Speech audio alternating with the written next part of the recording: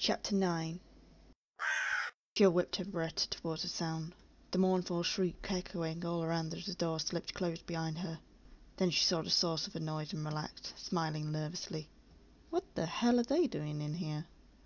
She was still in the back part of the house and had decided to check out a few of the other rooms before heading back to the main hall. The first door she tried had been locked, a carving of a helmet on the key plate. The locker type she'd never encountered, so she decided to try her luck on the other door across the hall. It had opened easily enough, though the last thing she'd expect to see was a flock of crows perched along the support bar for the track lighting that ran the length of the room. Another of the large black birds let out a morose shriek, and Jill shivered at the sound.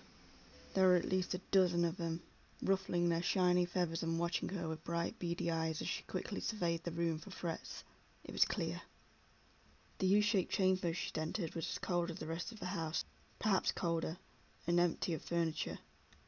It was a viewing hall, nothing but portraits and paintings lining the inner walls. Black feathers lay scattered across the wooden floor amidst dried mounds of bird droppings, and Jill wondered again how the crows had gotten inside and how long they'd been there. There was definitely something strange about their appearance. They seemed much larger than normal crows, and they studied her with an intensity that seemed almost unnatural. Jill shivered again, turning back towards the door. There wasn't anything important in the room, and the birds were giving her the creeps. Time to move on. She glanced at a few of the paintings on her way out, mostly portraits, noticing that there were switches beneath the heavy frames. She assumed they were for the track lighting, though she couldn't imagine why anyone had bothered setting up such an elaborate gallery for such mediocre art. A baby, a young man. The paintings weren't awful, but they weren't exactly inspired either.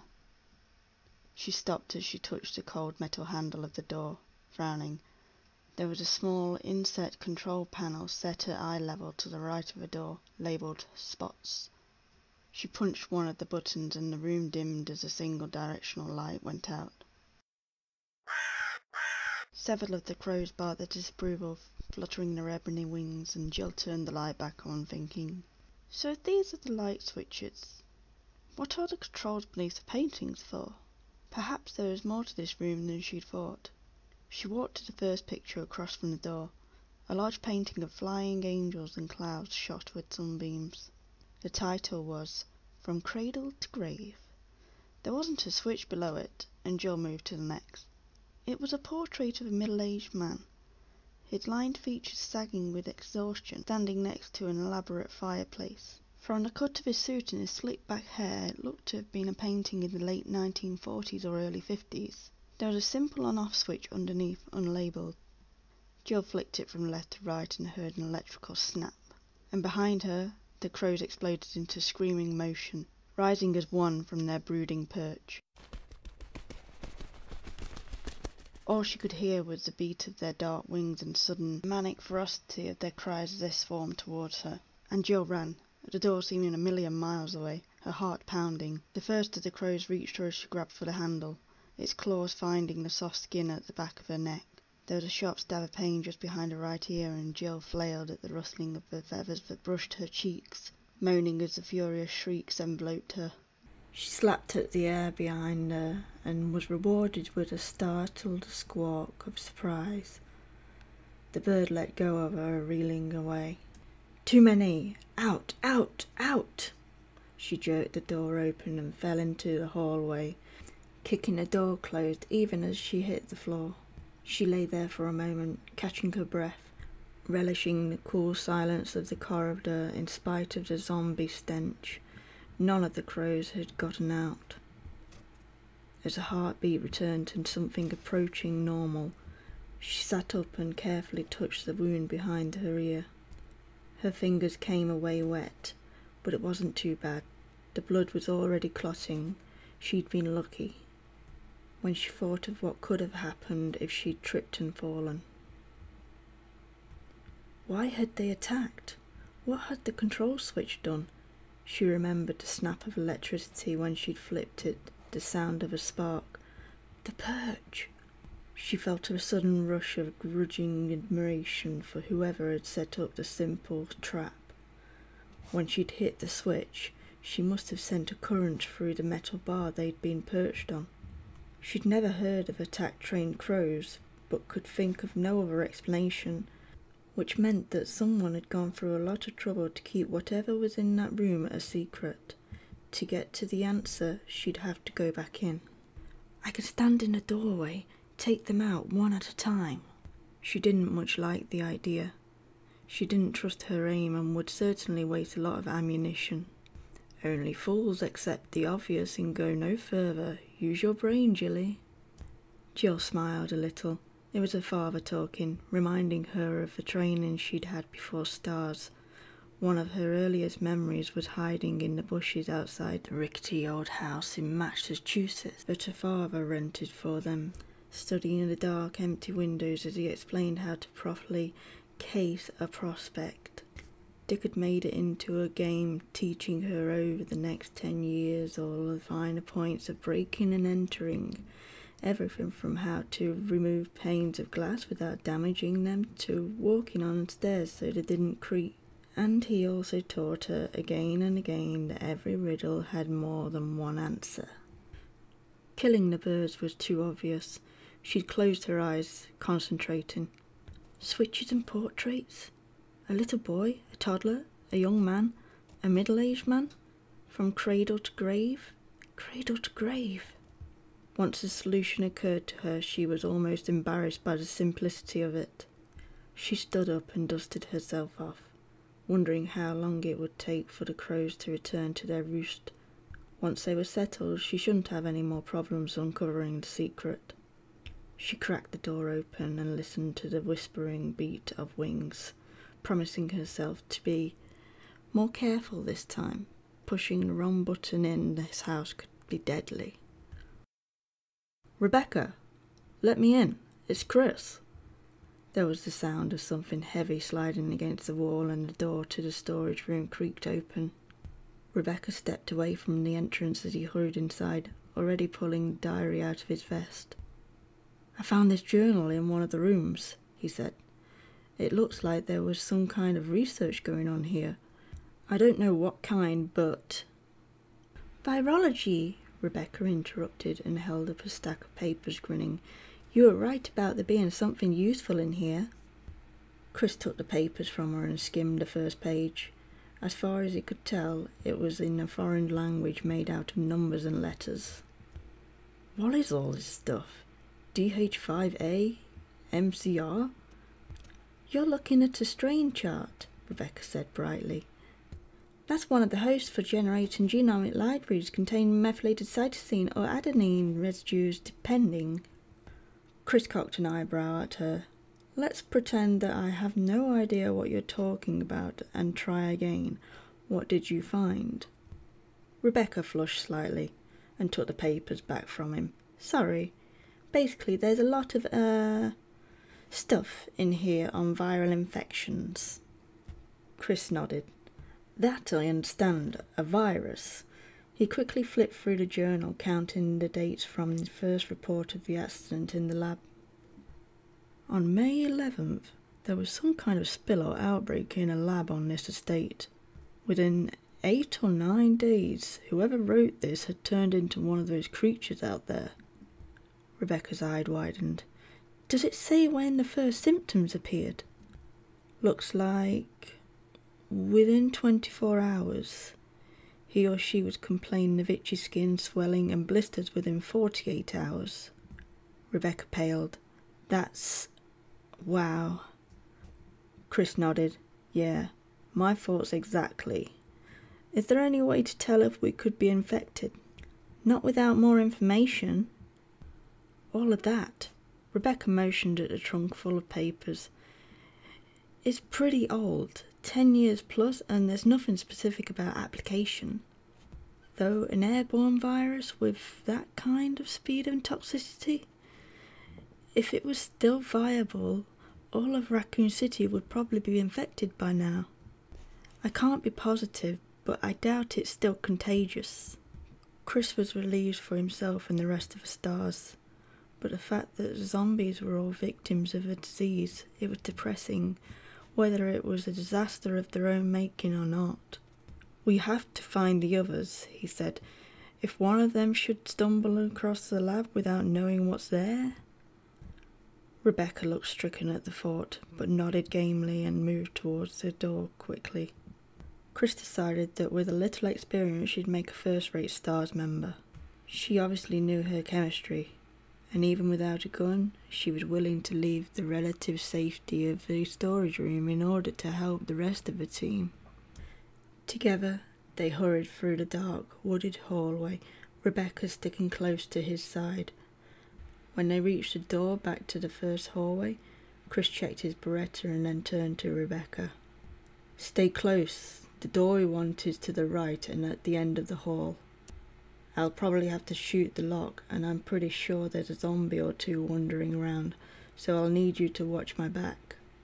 Yes, sir, she said quietly, and Chris grinned in spite of the situation. Technically, he was her superior. Still, it was weird to have it pointed out. He opened the door and stepped through, training his gun on the shadows straight ahead and then down the hall to the right. Nothing moved. Go! He whispered, and they jogged down the corridor, quickly stepping over the fallen creature that blocked their path. Rebecca turned to face the open stretch behind them as Chris rattled the doorknob, hoping vainly that it had unlocked itself. He backed away from the door and took careful aim. Firing at a locked door wasn't as easy or safe as it looked in the movies. A ricochet of metal at such close range could kill the shooter. Chris! He glanced over his shoulder and saw a shambling figure at the other end of the hall, moving slowly towards them. Even in the dim light, Chris could see that one of the arms was missing. The distinctive odour of decay wafted towards them as the zombie moaned thickly, stumbling forward. Chris turned back to the door and fired twice. The frame splintered, the insert metal square of the lock revealed in a spray of wood chips. He jerked at the knob and the lock gave, the door swinging open. He turned and grabbed Rebecca's arm, hustling her through the doorway as he pointed the Beretta back down the hall. The creature had made it halfway, but was stopped by a lifeless body of a zombie that Chris had killed earlier. Even as Chris watched in horror and disgust, the one-armed zombie dropped to its knees and plunged its remaining hand into the other's crushed skull. It moaned again, a wet, phlegmy sound, and brought a handful of slushy grey matter to its eager lips. Oh man. Chris shuddered involuntarily and hurriedly stepped through to join Rebecca, closing the door on the gruesome scene. Rebecca was pale but seemed composed and again Chris admired her courage. She was young but tough, tougher than he'd been at eighteen. He took in her hall at a glance, immediately noticing the changes. To the right, about twenty feet away, was a corpse of one of the creatures, the top of its head blown away. It lay face up, the deep sockets of its eyes filled with blood. To the left were the two doors that Chris hadn't tried when he'd first come to investigate. The one at the very end of the hall was standing open, revealing deep shadows. At least one of the stars came this way, probably looking for me. Follow me, he said softly and moved towards the open door, holding the Beretta tightly. He wanted to get back to the main hall with Rebecca, but the fact that one of his team must have gone through the opening deserved a quick look. As they passed the closed door on the right, Rebecca hesitated. There's a picture of a sword next to the lock, she whispered. He kept his attention on the darkness just past the open door, but realized as she spoke that there was too many ways for them to get sidetracked. He didn't think the rest of the team was still waiting for him, but his original orders had been to report back to the lobby. He shouldn't be leading an unarmed rookie into the unknown territory without at least checking. Chris sighed, lowering his weapon. Let's get back to the main hall, he said. We can come back and check it out later. Rebecca nodded and together they walked back towards the dining room, Chris hoping against hope that someone would be there to meet him. Barry pointed his Colt towards the crawling ghoul and fired. the heavy round splattering the thing's mushy skull into liquid even as it reached for his boot. Tiny drops of wetness splashed his face as the zombie spasmed and died. Scowling, Barry wiped at his skin with the back of his hand. The tiny white tiles of the kitchen wall got it much worse, rivulets of red coursing down the grouted tracks and pooling to the faded brown linoleum. Still, it was pretty disgusting. Barry lowered the revolver, feeling the ache in his left shoulder. The door upstairs had been solidly locked. He had the bruises to prove it, and staring down at the zombie's hash in front of him, he realized that he was going to have to go back up and break down another one. If he hadn't been certain of it before, he was now.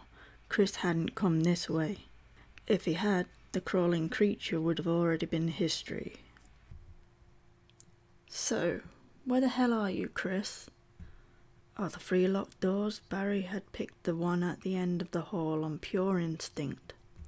He'd ended up in a dark, silent hall that led past an empty elevator shaft and down a narrow set of stairs.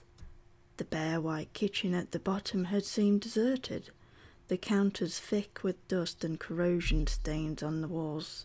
No sign of recent use, no sign of Chris, and the single doors across from the sink had been locked. He'd been about to leave when he'd noticed the trails of disturbed dust on the floor and followed them. Sighing heavily, Barry stepped over the stinking monster, a final check before he headed back up for the door number two. There were some stacked crates and the same old fashioned elevator shaft, also empty. He didn't bother with the call button since the one upstairs hadn't worked. Besides, judging from the rust on the metal grate, no one had used it in quite a while. He turned back the way he'd come, wondering how Jill was making out. The sooner they could get away, the better. Barry had never disliked any place as much as he did this mansion. It was cold, it was dangerous, and it smelled like a meat locker that had been unplugged for a week. He generally wasn't the type to frighten easily or let his imagination get out of hand, but he half expected to see some white sheeted spook rattling chains every time he turned around. There was a distant echoing clatter behind him. Barry spun, a knot of dread in his gut as he pointed his weapon randomly at the empty air, his eyes wide and mouth dry. There was no metallic clatter followed by a low, throbbing hum of machinery. Barry took a deep breath and blew it out slowly, getting a hold of himself. Not a disembodied spirit after all. Someone was using the elevator. Who? Chris and Wesker are missing and Jill's in the other wing. He stayed where he was, lowering the Colt slightly as he waited. He didn't think the ghouls were smart enough to work the buttons, let alone open the gate, but he didn't want to take any chances. He was a good twenty feet from where the booth would open, assuming it stopped in the basement, and would have a clear shot at whoever stepped out around a corner. A glimmer of hope sparked through his confusion. Maybe it was one of the Bravos, or someone who lived here and could tell them what had happened. With a dull clang, the elevator stopped in the kitchen. There was a squeal of dry metal hinges and footsteps, and Captain Wesker stepped into view, his perpetual sunglasses propped on his tanned brow. Barry lowered the revolver, grinning as cool relief swept over him. Wesker stopped in his tracks and grinned back at him. Barry, just the man I was looking for, he said lightly. God, you gave me a scare. I heard an elevator start up and thought I was going to have a heart attack. Barry trailed off, his grin faltering. Captain, he said slowly, where did you go? When we came back, you were gone. Wesker's grin widened. Sorry about that. I had some business to attend to. You know? Call of nature. Barry smiled again, but was surprised by the confession. Trapped in hostile territory, and the man had gone off to take a leak. Wesker reached up and lowered his shades, breaking their eye contact, and Barry suddenly felt a little nervous. Wesker's grin, if anything, seemed to grow wider. It looked like every tooth was showing. Barry, I need your help. Have you ever heard of White Umbrella? Barry shook his head, feeling more uncomfortable by the second. White Umbrella is a sector of Umbrella Inc., a very important division. They specialize in biological research, I guess you could say. The Spencer estate houses their research facilities, and recently an accident had occurred. Wesker brushed off a section of the kitchen centre island and casually leaned against it, his tone almost conversational. This division of Umbrella has a few ties to the STARS organization, and not long ago I was asked to assist in their handling of this situation. It's a very delicate situation, mind you, very hush hush. White Umbrella doesn't want a whisper of their involvement getting out. Now, what I'm supposed to do is get to the lavatories on the grounds here and put an end to some rather incriminating evidence. Proof that White Umbrella is responsible for the accident that's caused so much trouble in Raccoon as of late. The problem is, I don't have the key to get to those labs. Keys, actually. And that's where you come in. I need for you to help me find those lost keys. Barry stared at him for a moment, speechless, his mind churning. An accident? A secret lab doing biological research? And murdering dogs and zombies loose in the woods? He raised his revolver and pointed it at Wesker's smiling face, stunned and angry. Are you insane? You think I'm going to help you destroy evidence? You crazy son of a bitch! Wesker shook his head slowly, acting as if Barry were a child. Ah, Barry, you don't understand. You don't have a choice in the matter. See, a few of my friends from White Umbrella are currently standing outside of your house, watching your wife and daughter sleep. If you don't help me, your family is going to die. Barry could actually feel the blood drain from his face. He cocked the hammer back on the Colt, feeling a sudden vicious hatred for Wesker infusing every fibre of his being. Before you pull the trigger, I should mention that if I don't report back to my friends fairly soon, their orders are to go ahead and do the deed anyway. The words cut through the red haze that had flooded Barry's mind, turning his hand clammy with terror. Kathy, the babies. You're bluffing, he whispered, and Wesker's grin finally disappeared, his expression slipping back into the unreadable masks that he usually wore. I'm not, he said coldly. Try me. You can apologize to their headstones later. For a moment, neither of them moved, the silence a palpable thing in the chill air. Then Barry slowly eased the hammer back down and lowered the weapon. His shoulders slumped. He couldn't, wouldn't risk it. His family was everything. Wesker nodded and reached into one of his pockets, producing a ring of keys, his manner suddenly brisk and businesslike. There are four copper plates somewhere in this house. Each one is about the size of a teacup, and has a picture engraved on one side sun, moon, stars, and wind. There's a back door on the other side of the mansion where the four of them belong. He unhooked a key from the ring and set it on the table, sliding it across to Barry. This should open all of the doors in the other wing, or at least the important ones. First and second floor. Find those pieces for me, and your wife and children will be fine. Barry reached for the key with numb fingers, feeling weak and more afraid than he'd ever been in his life. Chris and Jill will undoubtedly want to help you search. If you see either of them, tell them that the back door you've discovered could be the way out. I'm sure they'll be more than happy to work with their trusted friend, good old Barry. In fact, you should unlock every door you can in order to promote a more thorough job. Wesker smiled again, a friendly half grin that belied his words. Of course, you tell them you've seen me. That could complicate matters. If I run into trouble, say, get shot in the back, well, enough said. Let's just keep this to ourselves. The key was etched with a little picture, a chest plate for a suit of armour. Barry slipped it into his pocket. Where will you be? Oh, I'll be around, don't worry. I'll contact you when the time is right. Barry looked at Wesker pleadingly.